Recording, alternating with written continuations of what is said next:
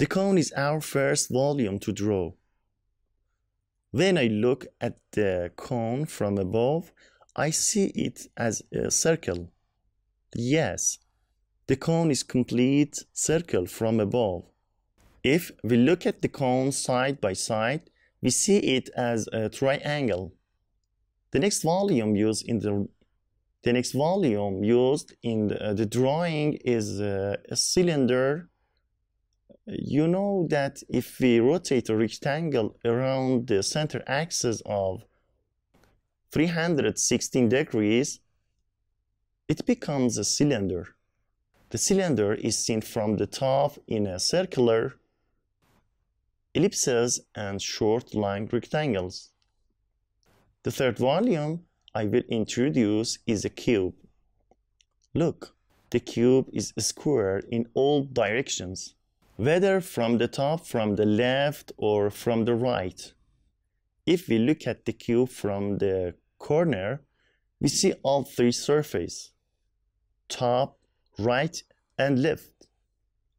There are six squares in the cube. We see all the houses, luggage, refrigerators, and many other things like cubes. A table or a chair or a book is also cubes. There is a dot that turns into a line and that uh, line turns into a surface and then into a volume and is uh, made into a cube.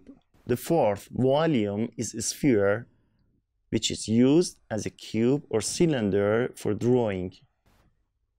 These four volumes, the sphere, the cylinder, cube, and the cone, help us to visualize the different object in volume. Everything you see around you must have uh, four volumes. Example by placing the cone on the cylinder. I make a pencil. Can you see it?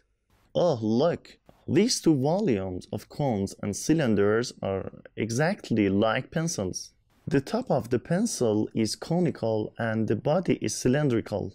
All pencils contain these two dimensional volumes. In another example, I make a human body with two different volumes, a cylinder and a sphere. Wow! How great! Look, this is a human head and the cylinder is human body. Now let's make a bird by adding a cone. The cone is the tip of the bird and the cylinder is the bird's neck. We can put the cube in place of the bird's head. And uh, the cylinder is place of the bird's neck.